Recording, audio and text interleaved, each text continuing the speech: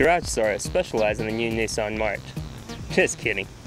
Actually, they will turn their hand to almost anything, though they are best known for their GTRs.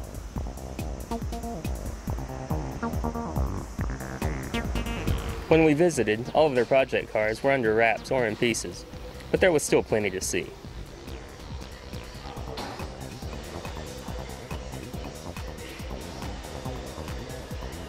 Up on the hoist is their next drag GTR, still a long way from completion.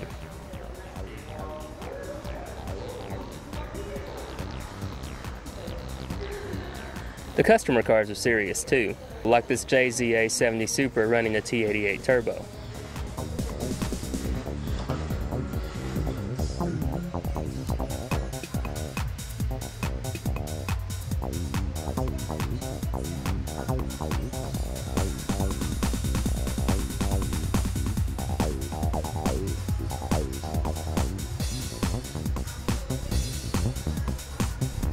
The office may be small, but it's filled to the brim with parts, including engine parts, so you don't need to wait for your order to come in, even if you need an HKS GTR crank and pistons. The car that's closest to being finished is this S14 street drag car. It's one of the very few 9-second Silvias in Japan, which is more impressive when you see it still uses an SR20 engine. Apart from the intercooler, it seems quite normal on the outside, but the engine is something else. It uses a Trust TD06 20G turbo and another one. Yep, a twin turbo setup that will support 900 horsepower on a GTR, strapped to the side of an SR20. Saurus claims 750 horsepower on the 2.2 liter SR, so the oil cooler is mounted front and center. The injectors are 1000cc per minute HKS items with a matching rail. The Greddy manifold is modified injector bases to suit, with a 90mm infinity throttle.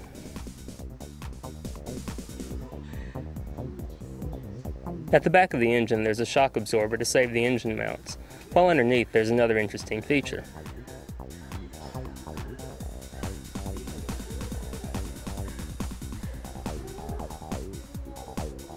This big windage tray is essential for oil control on a very high revving engine, while Tein coilovers provide plenty of tunability for maximizing traction.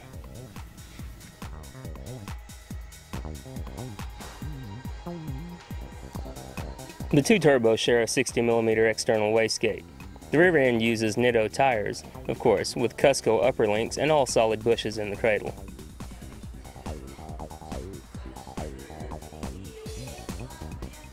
This Quaife gearbox from Trust is the next major upgrade, which will hopefully get the car deeper into the nines.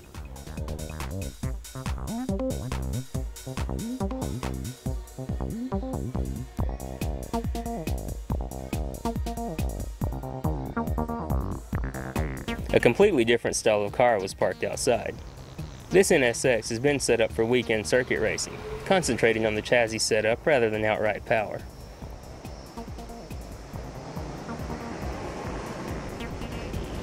This includes the brake package, with huge discs and 4-piston AP calipers front and rear.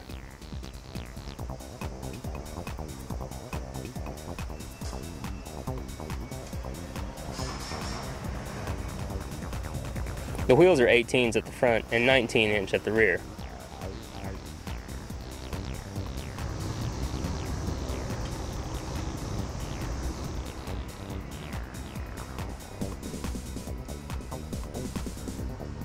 The hood has a big vent with a carbon fiber vane to draw more air through the radiator, while an adjustable rear wing gives the best balance between drag and downforce. A lip spoiler underneath also reduces drag.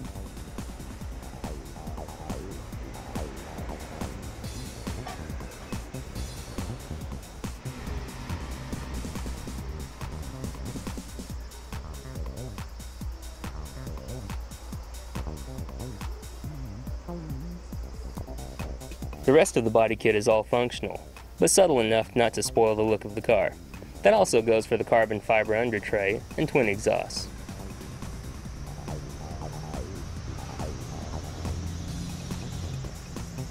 The engine has relatively mild modifications, like the air filter, headers, and a retuned computer.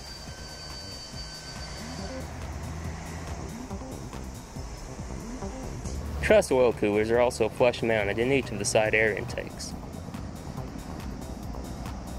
Though it only makes around 350 horsepower, the car has lapped Tsukuba in 1 minute and 2 seconds in the hands of a pro driver. Chassis improvements like the Tein coilovers and ARC titanium braces play a big part.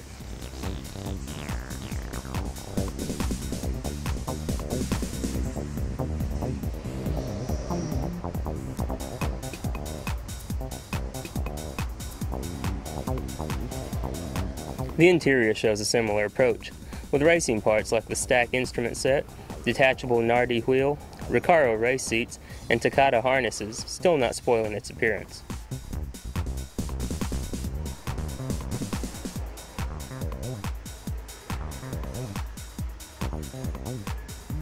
There's also a brake bias adjuster beside the seat.